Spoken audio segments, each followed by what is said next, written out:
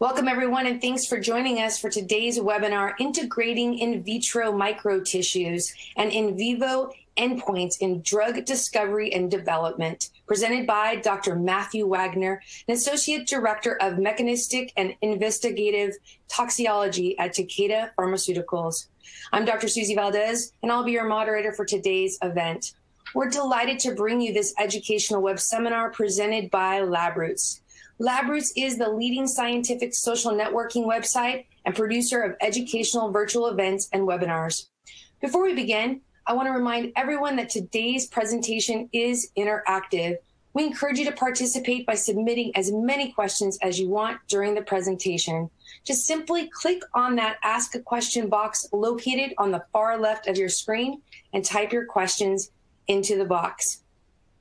Our speaker will respond to your questions via email and following the presentation. If you have any trouble seeing or hearing the presentation, just click on that Ask a Question box and let us know you're experiencing a problem. This presentation is educational and thus offers continuing education credits. Just click on the Continuing Education Credits tab located on the top right-hand corner of your presentation window and follow the process to obtain those credit credits. Without further ado, let me introduce our presenter, Dr. Wagoner. Welcome, sir. Thank you very much, Susie. And I'm excited to talk to you today about one of my favorite topics, uh, about the idea of integrating in vitro microtissues and other in vitro assays into in vivo endpoints in both drug discovery and development. Uh, so first off, some disclaimers. Uh, Peyton Manning, I am not. So no part of this talk is a paid or unpaid endorsement for or criticism of anyone's technology or medicine. Uh, these are my personal opinions and not the opinions of Takeda Pharmaceuticals or any of our collaborators. Uh, the second disclaimer is that I do work for a pharmaceutical company. I've worked for them in the past. I work for one now. And I hope to remain gainfully employed at a pharmaceutical company until my son's pitching arm is strong enough to support me financially. That's my son Tristan right there. And since he still wears high heels on his hands, uh, it might be a while until his contract comes in. So, with those disclaimers out of the way, uh, let's just look at a very brief outline. Uh, I'd like to talk just a little bit about the promise and potential of 3D microtissues, because those are not always one and the same thing. Uh, a little bit of the challenges and opportunities of using uh, advanced cell culture systems such as microtissues as hazard identification tools, and, uh, and lastly, I would like to look at the uh, emerging potential application of neural microtissues in drug discovery screening.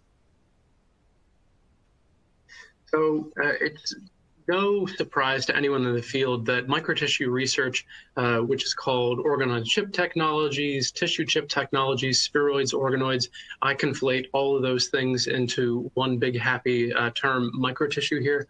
Uh, this field is rapidly expanding. It's been expanding exponentially for about the last 15 to 20 years or so, uh, without showing any signs of stopping anytime soon. And in fact, in the last year, we've seen some really exciting advances come out.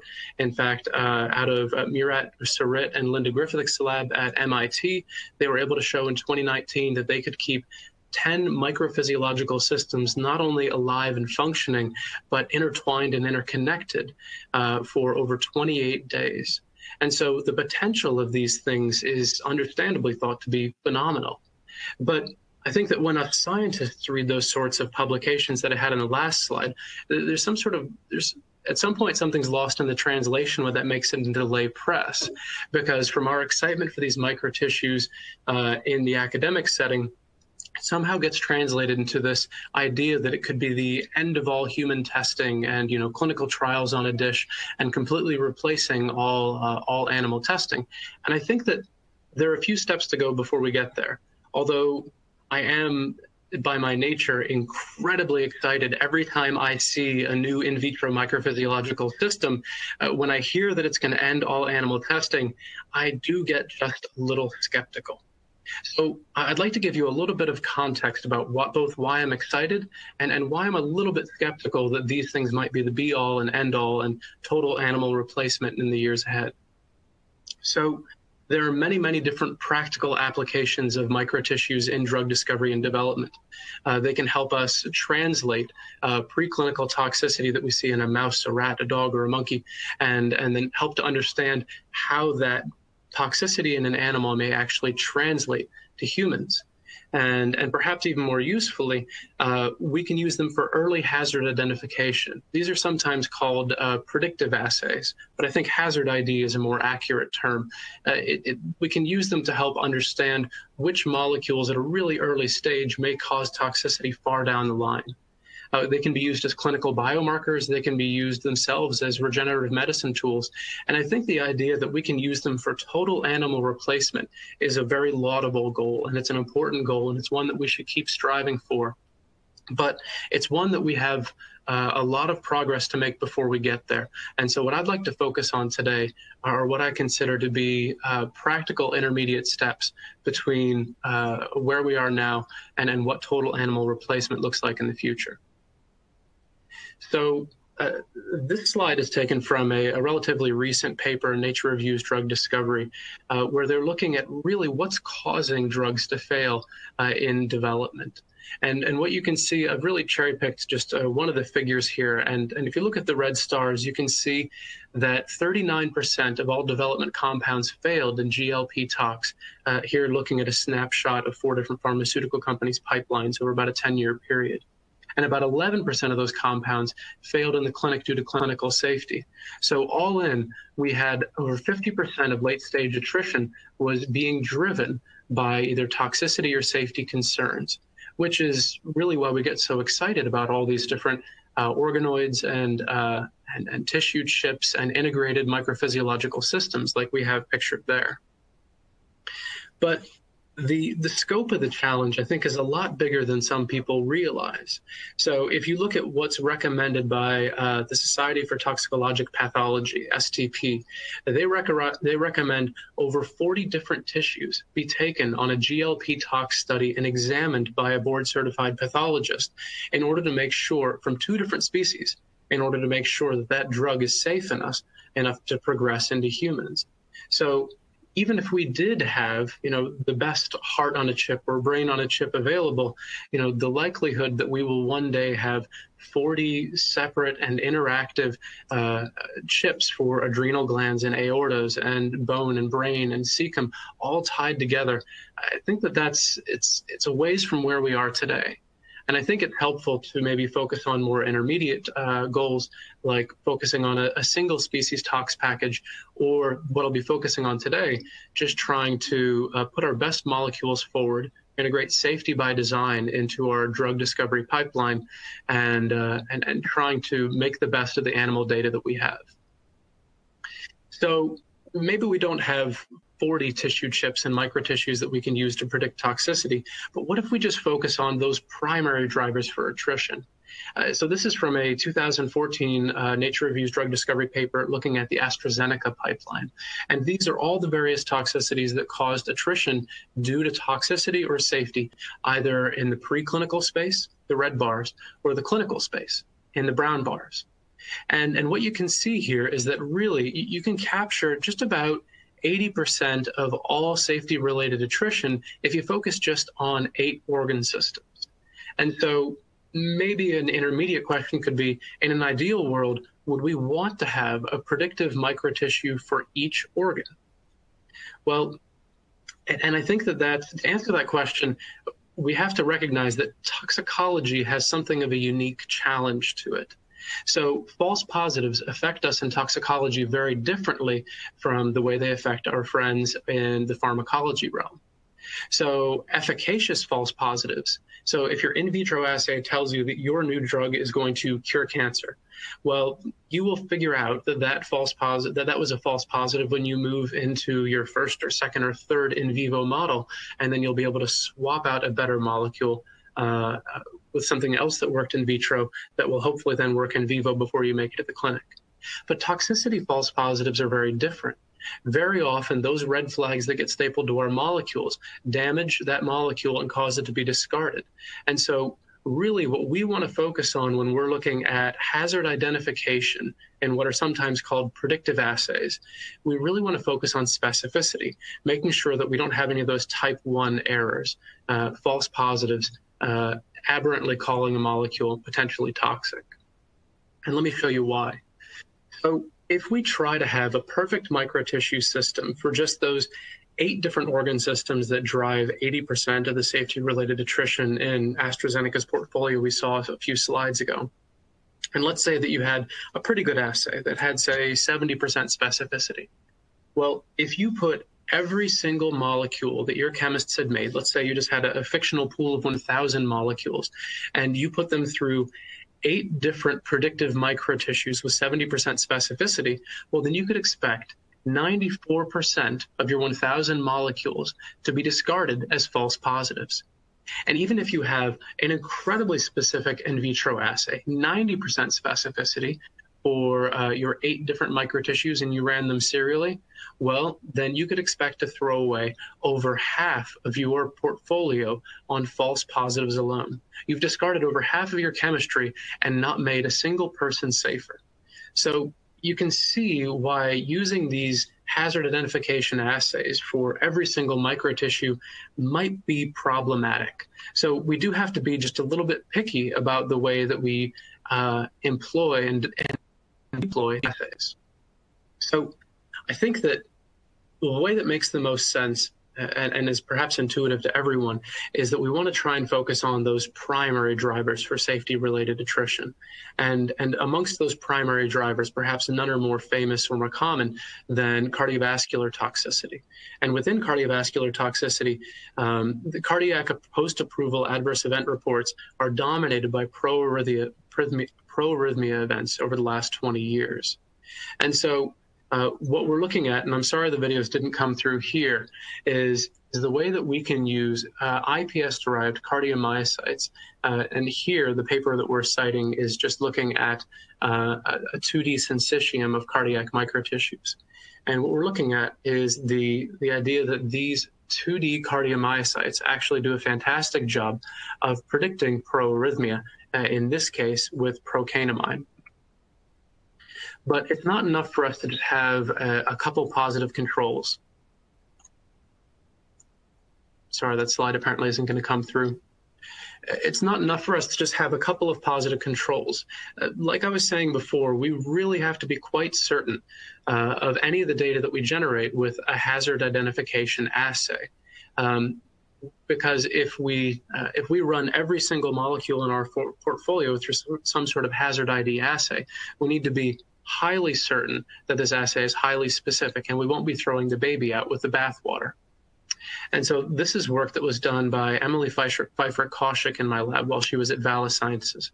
And what she showed was that in a validation, in this case of over 90 compounds, all of which had clinical exposure and adverse event information, is that this 2D syncytium of IP-derived cardiomyocytes actually does a fantastic job of predicting that QT prolongation, which is directly related to proarrhythmia. And actually, it compares quite favorably with other assay systems that are currently uh, out there and being widely used, like non rodent ex vivo assays, like the Langendorff assay. And so, if we look at the sensitivity and specificity of these IPS derived cardiomyocytes in this kinetic imaging cytometry assay, you can see that this assay and this validation set was 80% sensitive and over 98% specific which was vastly outperforming one review article that was looking at Langendorff and other ex vivo assays, where they reported it as having only 33% sensitivity and 80% specificity. So that 18% gap in specificity is massive because those are all compounds that would be thrown out with no safety or, or enriching benefit. And so uh, when you have an assay that has just 2% false positive rates, that means that when you're talking to your project team and your project chemists and you come back with a positive in your in vitro assay, you can say with high confidence, 98% of the time, this is something that would have caused, is likely to cause QT prolongation in the clinic. This is a high risk molecule. And so if we just play out the numbers on that for a minute, and, and I swear I just use big round numbers, and these are all uh, ballpark guesstimates, so forgive me, I'm not a mathematician. So if we have 1,000 compounds, that 2015 paper we saw from Pfizer and AstraZeneca showed that, uh, okay, we could expect roughly 500 of those to be uh, lost due to safety uh, related attrition. And so if we uh, look at the relative proportions, about 12.5%, uh, I'm sorry, about 25% uh, of safety-related attrition uh, can be attributed to cardiovascular toxicity.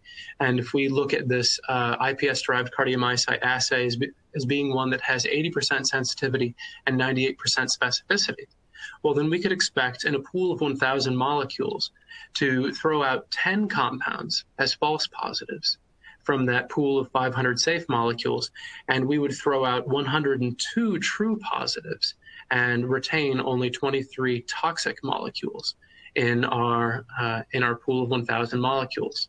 So what that gives us then is that gives us a pool of molecules that has been over five-fold enriched uh, for non-cardiovascular toxic molecules. So you're throwing out 10 true positives for every false positives that is a really good benefit because you're you're uh, you're screening against a high frequency toxicity with a high specificity assay. But just because you have a high specificity assay doesn't mean that you should be using trying to develop an assay with that high specificity for every single toxicity under the sun. What if we had a toxicity that was a lot less common, like phospholipidosis? And let's pretend that we have an assay that is every bit as good as the IPS derived cardiomyocytes are at predicting proarrhythmia. Well, and we ran it on that same pool of 1,000 compounds, but with uh, a much less frequent toxicity, something that's present, uh, oh, in about only nine out of every 1,000 molecules that would come out of an, an average uh, uh pharmaceutical company's portfolio. Well, we could expect to throw out the same 10 false positives that we threw out with our last assay, but uh, out of the uh, but we could accept, expect to throw out seven true positives and, and leave uh, two toxic molecules behind. So what that means is that in order to throw out seven true positives, we had to throw out 10 false positives. So there's no net enrichment for safer chemistry there. And, and this is the problem with trying to stack too many predictive assays on top of each other. And that's why we tend not to call these predictive assays. They're just hazard identification. And we use them to try to um, understand and prioritize molecules in the really early chemistry space, in the lead generation, lead optimization space, uh, trying to choose chemical series and, and novel small molecules to move forward then into, uh, into mini tox or exploratory tox studies onto a little more complex 3D tissue system. Uh, this was some outstanding work that came out of AstraZeneca and Genentech's lab that was led by Will Proctor and Dominic Williams. And, and here, this is work that was done looking at uh, spherical human liver microtissues for the prediction of clinical drug-induced liver injury.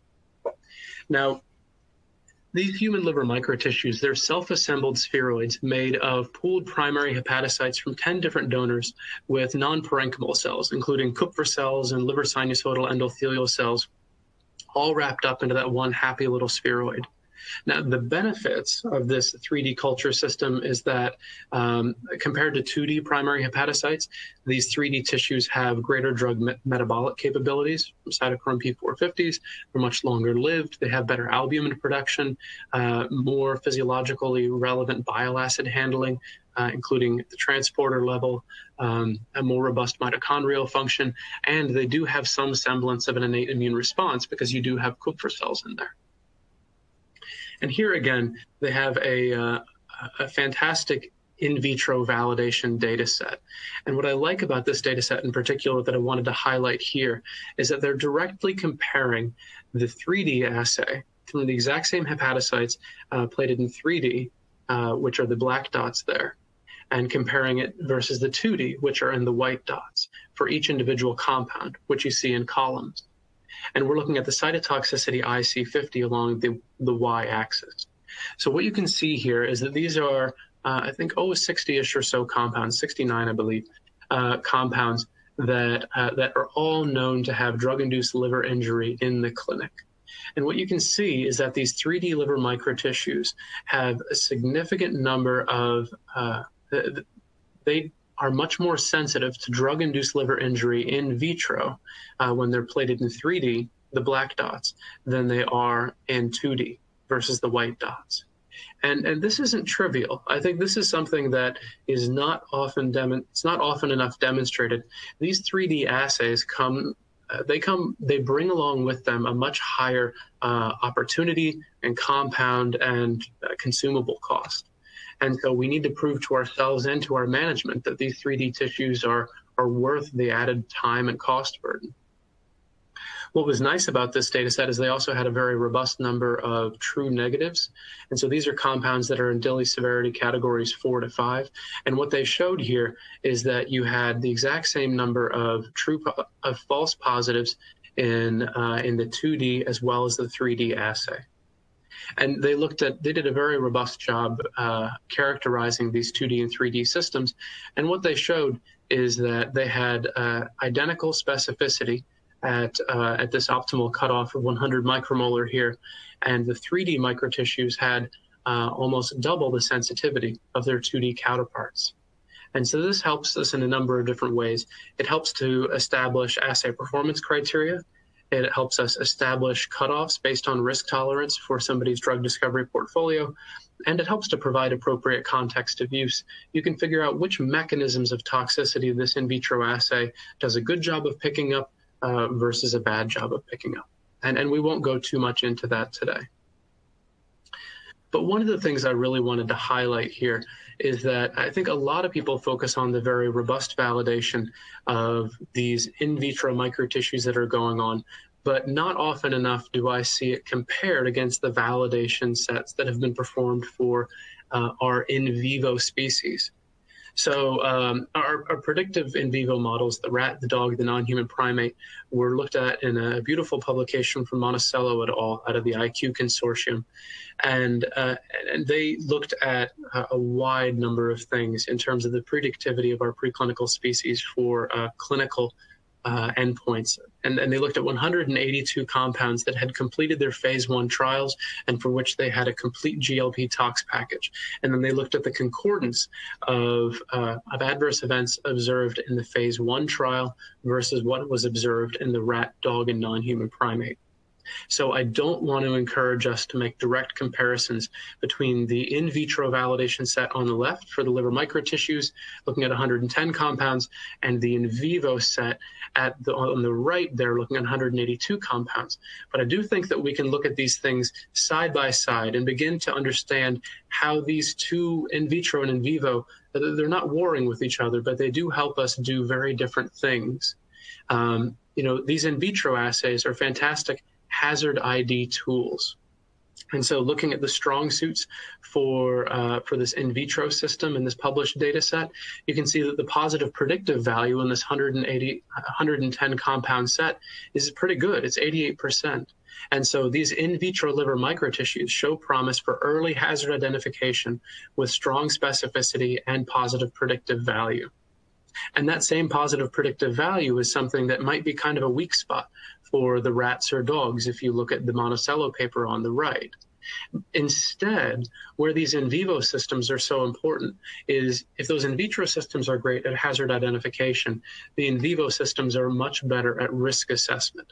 So, one thing that we don't often do with our in vitro assays is try to establish some sort of a um, an in vitro margin of safety where we say you need 30 fold margin before between your Cmax and an in vitro IC50. Uh, I think that if that if those data are out there to make a strong case for doing that with cell-based assays, um, then then I have not yet seen it developed, and I would love to. But at the moment, they seem to be useful hazard identification tools. We have a lot more experience with the preclinical species, though, from a risk assessment perspective. So we can actually use them to to both identify the, the target tox organ tissues, as well as trying to measure the risk to humans based on exposure that was seen preclinically and the exposure that's predicted to be seen clinically. And one thing that I think these in vivo tools are fantastic at, that our in vitro tools really don't get at, is these in vivo studies have very strong negative predictive values. So um, looking, focusing here just on drug-induced liver injury in this 182 compound set, you can see that the negative, uh, I'm sorry, the specificity of the non-human primates, and especially when you combine the rodent and non-rodent species, you have outstanding 98% uh, specificity. So if it calls something a positive, it's going to be a positive. And in fact, if you have uh, either species that has uh, called the liver safe, well, then that negative predictive value is pretty fantastic at 92% uh, in this data set. And so a lot of people try to think of in vitro and in vivo in a warring sense, and I don't see it like that at all. I think that we use them for very different things, and this is just one example of how these these two tools are not meant to replace each other, but rather complement each other.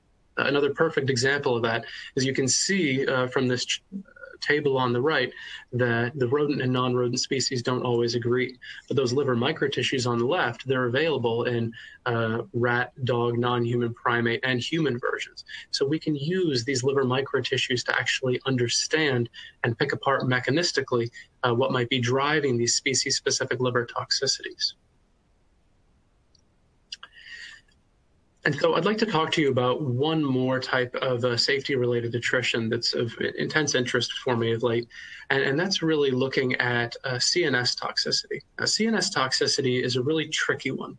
Uh, it's incredibly common, especially in the clinic. But if you look at this 2014 publication from AstraZeneca, you can see that uh, far and away, the preclinical toxicity, those things you're able to pick up in vitro and in preclinical species, um, you only lost seven due to CNS toxicity in the preclinical space. But if you look in the clinic, you had 34 molecules that were lost due to clinical CNS toxicity. So there's obviously a very large predictivity gap. Uh, that that isn't unique to AstraZeneca. That's something that um, it, it's through, it exists throughout all of pharma. So why is our CNS attrition so high, and is it, why is it so tough to predict with our existing in vitro and in vivo tools? Well, these CNS toxicities are primarily ad- identified as clinical and histopathological observations made on animal models of CNS function during GLP tox studies during relatively narrow slices of tissue and time. And unlike cardiovascular rated, uh, related attrition, there are no mandated electrographical uh, telemetry studies to, uh, to give us a reading into um, what might be happening at the EEG level uh, for all these CNS targeting drugs before they make it to the clinic. There are no readily monitored or validated biomarkers for toxicity, like ALT or AST are for liver, or serum creatinine or blood urea nitrogen R for kidney. And there's very poor predictivity of neural structural and functional toxicity in preclinical species. So there was a, a fantastic publication by Andy Mead um, when he was still at Pfizer, uh, looking at 141 compounds and looked at the concordance between the neurofunctional assessments in the uh, in the Irwin test, so it's called, and then the concordance of those observations in the phase one clinical trials, namely headache, nausea, dizziness, fatigue, somnolence, and pain. And they found that those were not predicted by the functional observation battery, uh, battery or the Irwin test. And so uh, that begs the question: Why? Uh, why is this so hard to predict? Well, and I think that histopathologically, they've done a lot of work to look at to to examine this. So uh, credit to Mary Carcillo, head of global uh, pathology here at Takeda, for giving me this slide and educating me on the topic. Um, but when it comes to pathology, there's actually a relatively narrow window within which you can catch this neurotoxicology. And so this is a publication by uh, Robert Switzer where he's looking at uh, just about 10 molecules and the actual uh, the peak cell death that's visible under H&E staining uh, days post-administration. And what you can see is after delivering something that we know to be CNS toxic, I believe here in rodents, uh, and what you can see is that uh, the visible toxicity really peaks in the two to five day time frame. And then after that, those dead or dying cells have been cleaned up and cleared out so that by the time you're reading out your GLP tox study at 14 or 28 days or, or three months or six months, uh, there's nothing more to see. And so there's a dearth of predictive preclinical models across the industry. And I really think that that's what's driving the high levels of CNS tox related attrition. And so it's that that was driving us to want to investigate more these neural microtissues. Now, this is a neural microtissue developed by uh, Stemonix out in San Diego. And these are cortical spheroids, and they're highly homogeneous in size and competition uh, and composition. They're about 500 microns in diameter, and they're balanced composition of both cortical neurons and astrocytes at a 50 50 ratio. those neurons are a good mix of inhibitory, the GABAergic, and the excitatory, the glutamatergic uh, neurons at an 80-20 ratio in favor of the glutamatergic. Best of all, they're platable in a 384 well uh, uh, plate format, meaning that uh, pharmaceutical toxicologists like my like myself can run the dose response curves and the large scale validation sets that we need in order to understand and validate uh, these assays for hazard identification.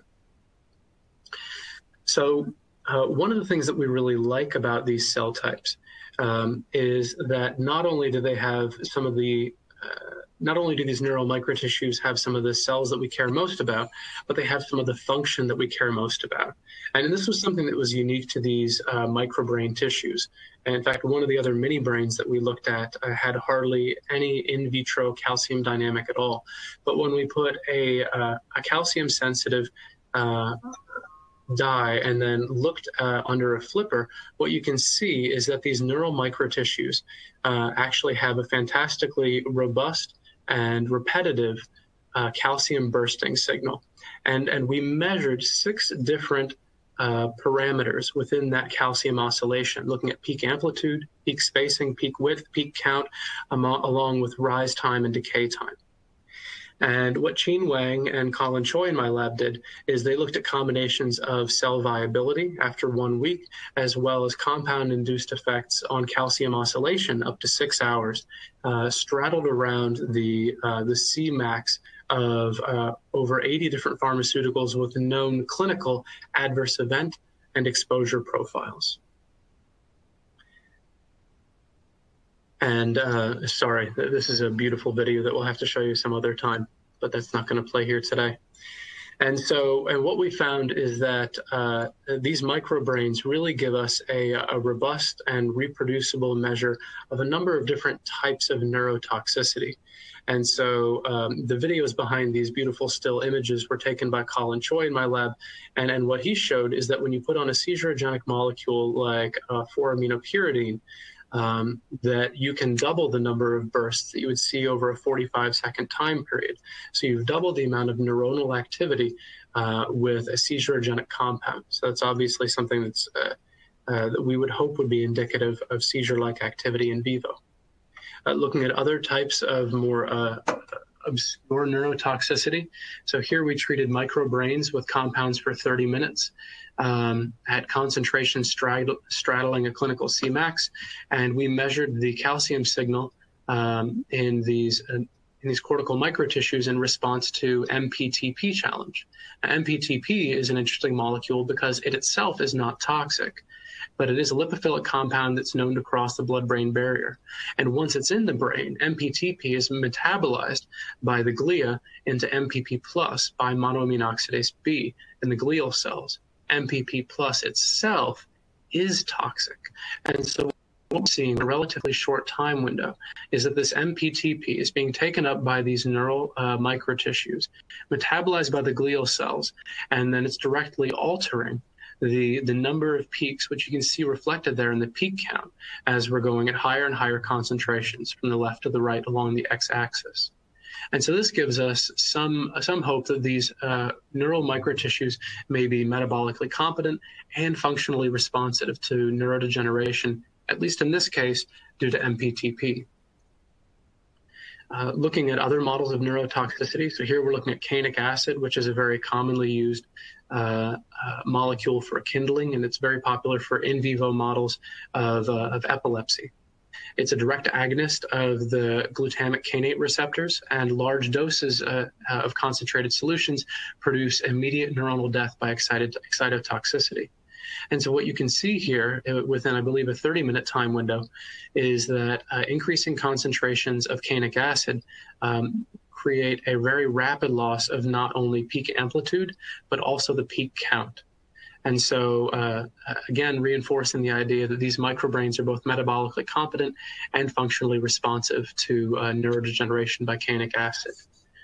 But uh, like I was mentioning at the beginning, we really can't rely on these small sets to, to validate our in vitro assays. We really need to be able to establish context of use and appropriate cutoffs on very large validation data sets. And so we're, we're currently running a, a large validation data set ourselves, uh, looking at a number of different mechanisms of neurotoxicity. And, and we won't have time to go into it today, but suffice it to say that um, with a brief overview here of, the, the, multitude of mechanisms of neurotoxicity, uh, as well as the high level message of our, our validation data set down here, is that we're very excited about this microbrain model and, and its potential moving forward as we and others uh, help to validate this model and really begin to understand its potential utility as a, a translational and a hazard identification tool. And with the last couple of minutes I have before uh, the, the, talk is done, uh, first of all, I have to fulfill every toxicologist's obligation of having at least one quote from Paracelsus per presentation. So uh, there you go. Poison is in everything, and no thing is without poison. The dosage makes it either a poison or a remedy. Um, so that's my uh, contractually obligated um, uh, request fulfilled. But the reason why I wanted to focus on that today is because I think that the age of toxicology as a standalone discipline is is really beginning to fade away. I think that if we want to have greater impact, uh, both in discovery and development, then we really need to tr- uh, team up with uh, QSP modelers and quantitative systems toxicology modelers so that we can take our mechanistic and our hazard identification tools and really begin to turn them into translational tools. So, and I'll give you one example of the ways that that can be done. So if we were looking at the effect of, say, in this case, a kinase inhibitor on bone marrow, uh, increasing uh, concentrations in a uh, in a rat exploratory tox study with an exploratory molecule caused um, maturation arrest in in the erythroid lineage and and some hypocellularity in the bone marrow. And, and and they could and the pathologist could tell by looking underneath the microscope that uh, these common progenitor cells, which uh, differentiate over a period of days into rubroblasts and prorubrocytes, and then rubrocytes and metarubrocytes, and then reticulocytes, and eventually into mature erythrocytes, um, they could tell that this process was halting, but they couldn't tell exactly where. And, and this is really where the modelers and the in vitro systems come into play. Is that so? These findings were in rats, um, but uh, we couldn't tell exactly which stage this maturation arrest was occurring in, and we couldn't tell exactly what would happen in a human because, of course, a rat is not a human. We understand this on both an intrinsic level as well as a quantitative level, and it's important to begin to stitch those things together. So starting with what we can do quantitatively with that sort of a, a maturation and differentiation protocol. Uh, well, this was uh, this was work that was really championed by Jay Medhital and Harish Shankaran at AstraZeneca, and and what they were showing us was uh, using a variant of the Freiberg model you can actually look at the way that free compound concentrations uh, have a direct effect on erythroid progenitors and then erythroblasts and reticulocytes and mature red blood cells and, uh, and hemoglobin in the circulation. And what's important to note here is look at these numbers uh, in the transitions from progenitors to erythroblasts. You can see that rats have a 48 hour transition time where humans have 83 hours. And for mature red blood cells, the uh, the half life for a mature red blood cells around 100, uh, 1400 hours, whereas for a human it's closer to 2800 hours. So if we try to understand and, and quantify this toxicity using rat bone marrow as our model for human toxicity, uh, we're really putting ourselves at a disadvantage, both in terms of the biology, because we don't understand if the potency against rat differentiation is the same as it is for human, uh, as well as for the, the quantitative aspects of differentiation. And so, uh, what many of us in the field have, have started doing is beginning to stitch together this semi-mechanistic modeling with this Freiberg type modeling that's more traditionally used for neutropenia modeling, but here the example is around anemia, and integrating the in vitro microphysiological systems where we can run in parallel, say, a model of human bone marrow loss and a model of rat bone marrow loss. And we can then determine if the human is more or less sensitive than the rat, and then overlay that on these understood quantitative differences in the differentiation timing and profiles for these preclinical species. And with that, we can begin to give estimates of clinical safety and begin to make recommendations to our clinical teams that say, like, listen, we, we believe that we may or may not have this risk based on what we've seen in vitro or in vivo. And if we do have this risk, we might recommend using uh, this sort of a dose and holiday schedule or this sort of a co-medication. And, or that we could expect these sorts of patients with high or low hematocrit levels to, to respond adversely. And those are exactly the sorts of graphs that I think that we need to be generating more and more moving forward.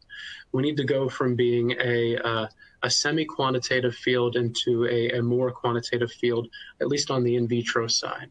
And, and this is just a, a, a mock-up of what some of these sorts of analyses can look like, where you have um, where you can make predictions for the, uh, hemoglobin loss for patients that either have a strong hematocrit or a weak but not quite anemic hematocrit going into your phase one trial, and how you might expect that uh, uh, compound administration to affect a wide range of patients over time and begin to call when you could expect those patients to stabilize, when you could expect them uh, to undergo grade one, grade two, or grade three anemia, all those sorts of things.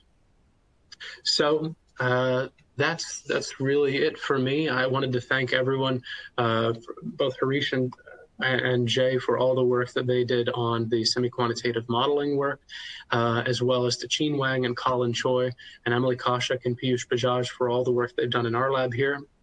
And Jenny Cohen, Yvonne Dragon, and Bill Penny here at Takeda. And I wanted to say, come join us. We're hiring immunologists and experienced drug discovery biologists at Takeda right now.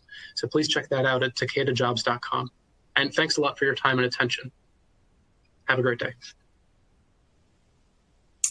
And thank you, Dr. Wagner, for that informative presentation. I'd also like to thank LabRoots for making today's educational webcast possible. Before we go, I want to remind everyone that today's webcast will be available for on-demand viewing through May 2019. As a final reminder, Dr. Wagner will follow up with any questions you've submitted via email. That's all for now, and thank you for joining us. We'll see you next time. Bye-bye.